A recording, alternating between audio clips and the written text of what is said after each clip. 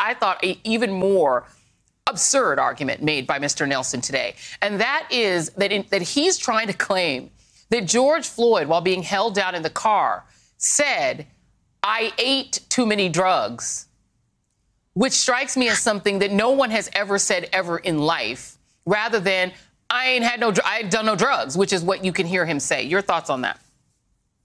So, first, the problem with the defense argument about the crowd is that last week the jury met the people in the crowd the brave right. teenage girl who made the video, the EMT first responder who begged Chauvin to let her take Mr. Floyd's pulse, Charles McMillan, the older gentleman who broke down in sobs because he couldn't save Mr. Floyd's life.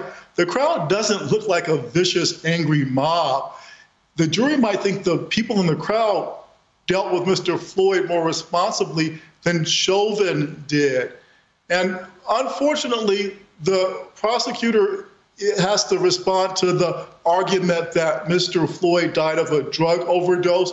And this is just the beginning of a, a long, dirty pathway. So next week, the defense has its own videotape from an arrest of Mr. Floyd in 2019. It starts out like his encounter with Chauvin. Cops approach the car.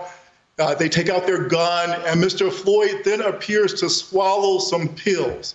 And that time, the cops took him to the hospital.